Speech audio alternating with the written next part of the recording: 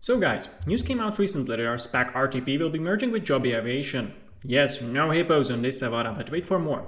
Joby is a flying taxi company much like Archer and eHang. Yes, eHang, that crazy Chinese company which was up ridiculously before this little market crash happened and robbed us out of our speculation allowance money.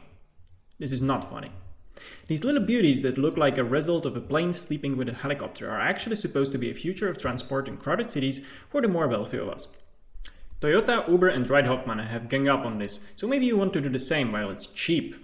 What happened to Hippo, might you ask? That magic fintech animal which was supposed to revolutionize the boring insurance space.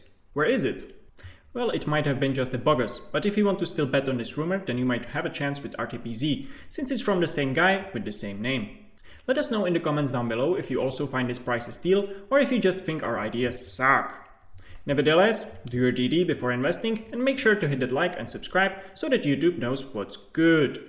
See ya!